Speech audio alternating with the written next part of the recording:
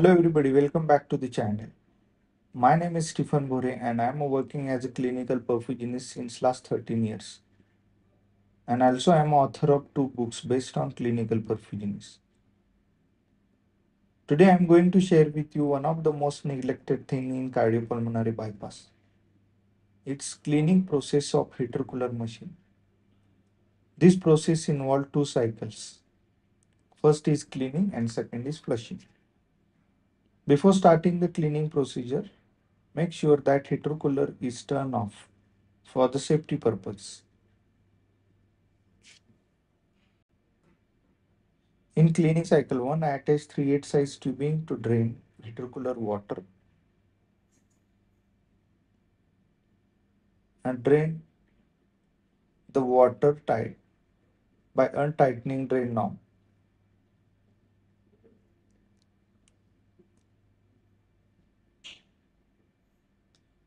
Make sure that water venting knob is closed properly.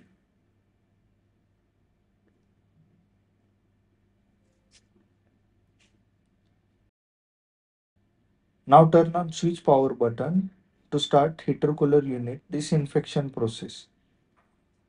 After this you will get noise of alarm. Press off button. After this remove water tank cap and fill the water tank until green lights came on the display.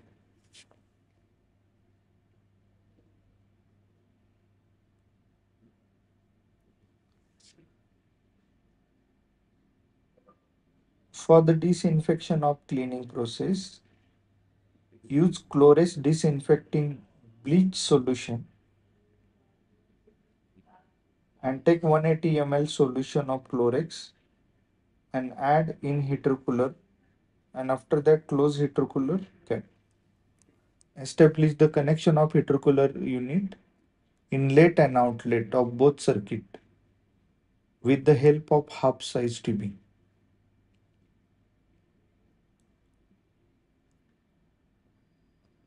After that open red color water tank now. Now start button circulate for 10 minutes to complete disinfection process.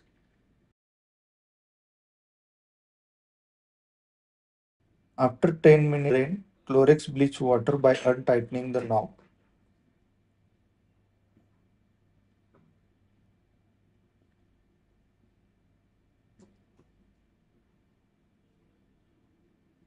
Ideally, heater cooler should be cleaned to avoid growth of fungus and or the other organism.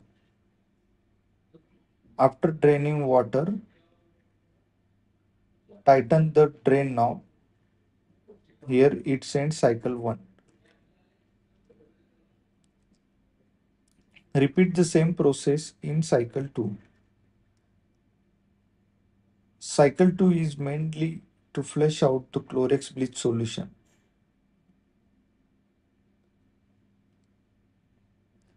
Again fill the water tank with sterile tap water. Once green lights came on the display, stop filling. Once again after this, open water venting now. Press start button and circulate water for 10 minutes to flush out Clorox solution. After 10 minutes, drain the heater cooler water by untightening the drain knob. Once drain all heater water, tighten the drain knob. Here it's end cycle 2.